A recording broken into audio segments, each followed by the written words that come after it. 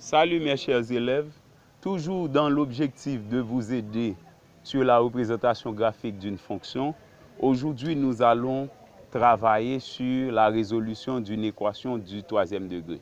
Parfois, lorsque vous allez tracer la coupe d'une fonction ordinairement rationnelle, ok, donc parfois, en posant f de x égale à 0, vous pouvez déboucher sur une équation du troisième degré.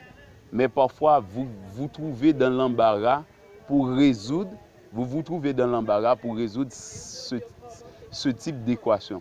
Eh bien, moi, étant professeur de mathématiques, j'apporte une méthode généralisée qui va vous permettre de résoudre n'importe quel, type d'équation du troisième degré que vous allez trouver au cours de la résolution.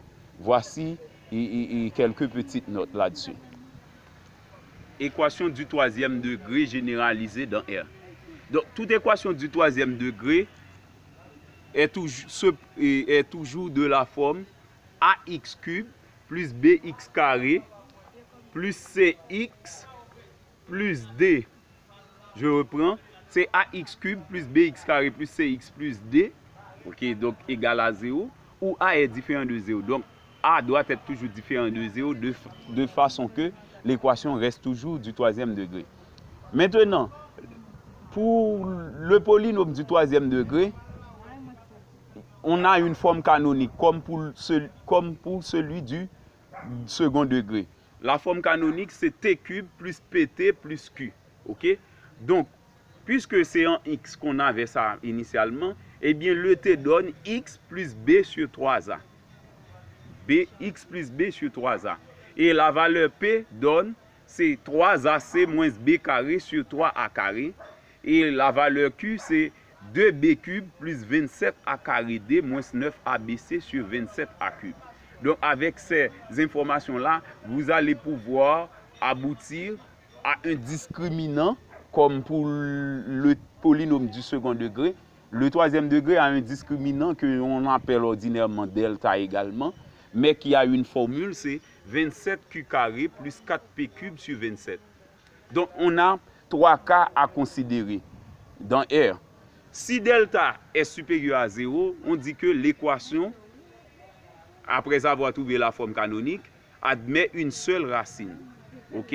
C'est une seule racine réelle. Ok? Donc, je dois préciser, l'équation admet une seule racine réelle. Puisqu'on a déjà prévu que c'était dans R, dans R. Donc, une seule racine, c'est une seule racine réelle. Ok, donc, maintenant, le deuxième cas, c'est lorsque ce discriminant delta donne 0. Quand delta donne 0, on dit que l'équation admet une racine réelle simple et une racine réelle double. La racine réelle double est de la forme moins racine cubique de moins q sur 2. Ok, donc, lorsque delta donne 0 également, On pourrait avoir un autre cas, c'est lorsque P et Q prend la valeur 0. Quand P et Q prend la valeur 0, on va avoir une racine triple qui est nulle. Une racine triple nulle. Donc pas la peine de mettre réel parce que 0 est déjà réel. Une racine triple nulle, lorsque P, à, P est égal à Q, égal à 0. Donc lorsque P est égal à Q, égal à 0, eh bien c'est sûr que on va avoir uniquement t cube égal à 0. Puisque t cube est, égal à 0, eh bien, on va avoir directement t cube égal, et, t égal à 0. Donc, c'est 0 cube qui donne 0. Donc, on va avoir t égal à 0 trois fois parce que c'est t cube. Donc, dans ce cas, on va avoir t égal à 0 comme une racine nulle qui est triple. OK? Maintenant, le dernier cas, c'est lorsque delta, le delta que nous venons de calculer avec la formule, quand delta est inférieur à 0. Quand delta est inférieur à 0, on dit que l'équation admet trois racines réelles distinctes. Ok, donc, et dans le cas, dans le cas d'une solution rationnelle, on a appris comment trouver la solution rationnelle. Eh bien, la solution, la méthode de la solution rationnelle nous, va nous permettre de trouver les racines autres que la théorie. Donc, la méthode qu'on utilise ordinairement, et dans, ces cas, dans ces trois cas, c'est avec la méthode complexe. ok?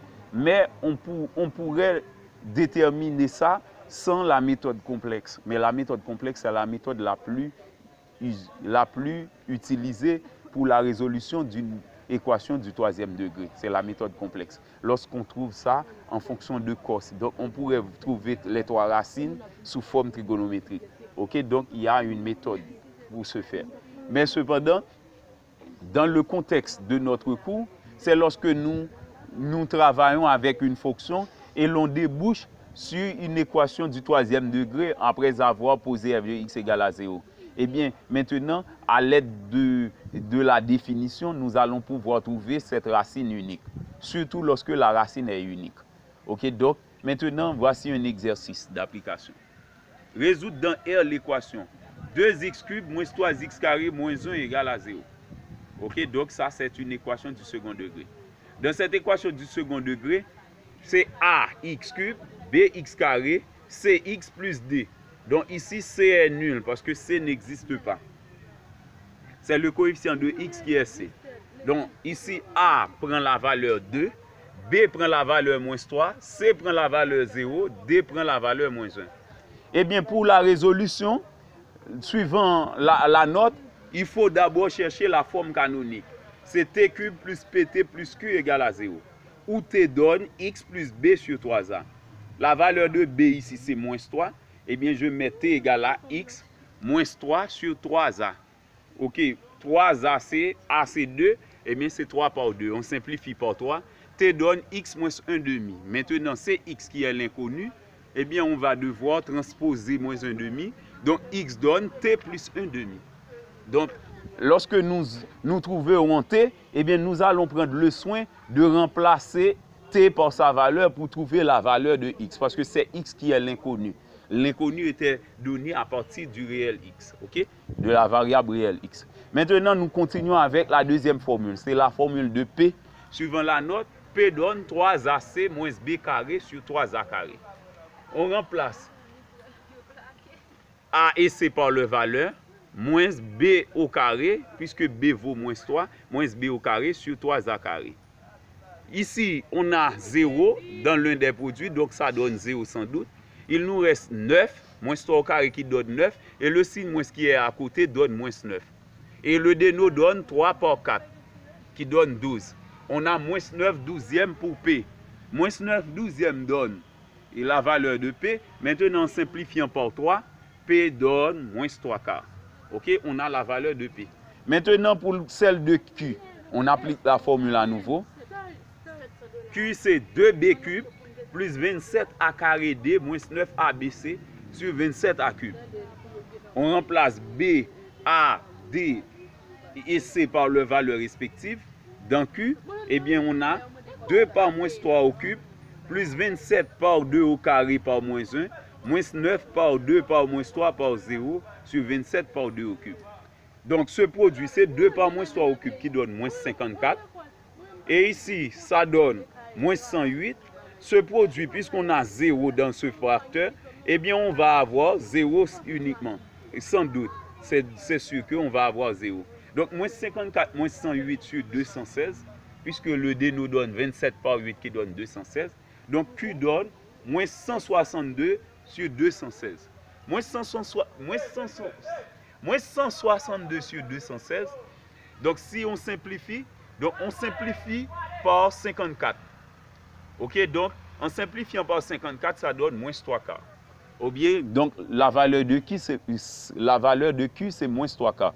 Comme pour P, on trouve P égale à moins 3 quarts, Q égale à moins 3 quarts.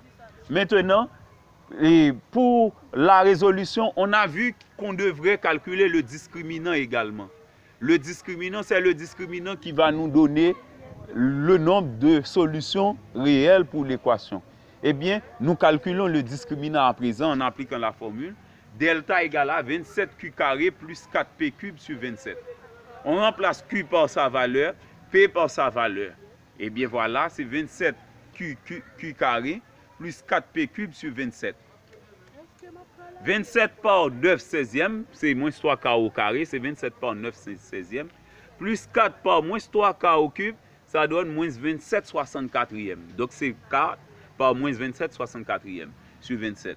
Maintenant, on fait le produit. 27 par 9 16e, ça donne 243 16e.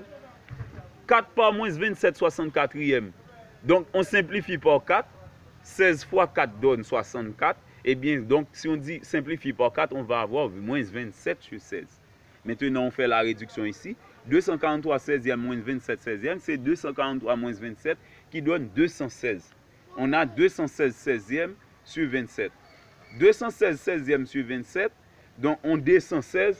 Donc pour diviser une fraction par un réel, il faut multiplier le réel par le dénot de cette fraction. Donc je multiplie 27 par 16.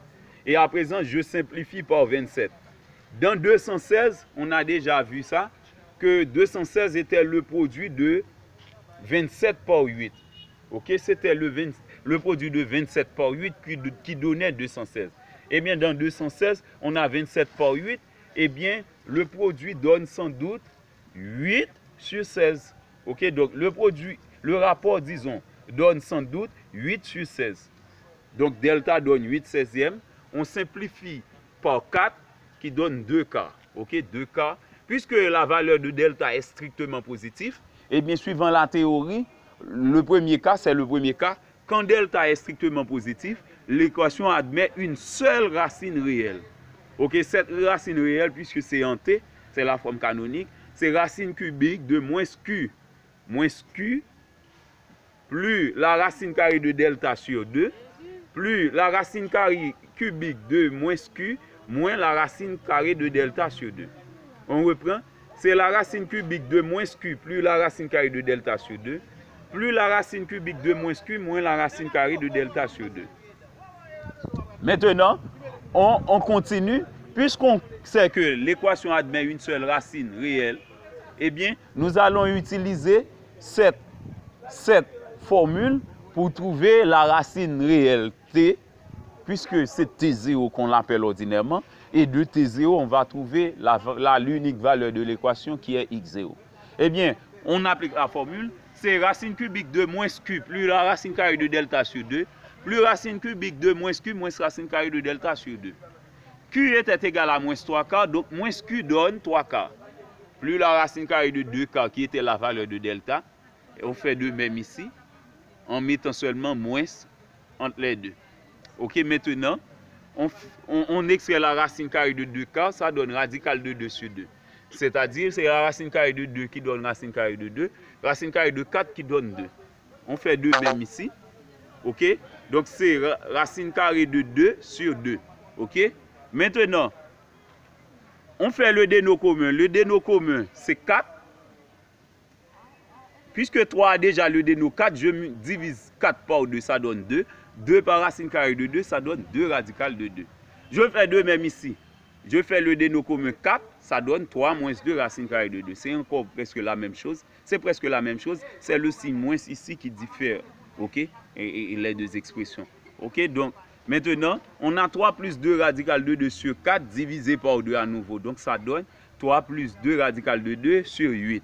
En faisant 4 fois 2. On fait 2 même ici. 3 moins 2 radical de 2 sur 8.